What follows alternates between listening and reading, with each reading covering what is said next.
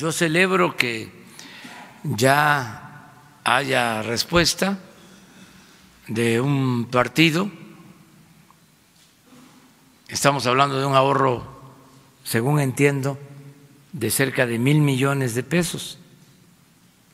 Nada más un partido. Significa el poder darle mantenimiento, pues como a mil escuelas. Está empezando todavía la convocatoria, este, y a lo mejor si se logra con los que voluntariamente eh, lo hagan, se busca un mecanismo. Hoy le voy a pedir al secretario de Hacienda que hable con los eh, consejeros del Instituto Electoral y también que hable formalmente con los dirigentes de los partidos. ¿Qué tal que se logre un acuerdo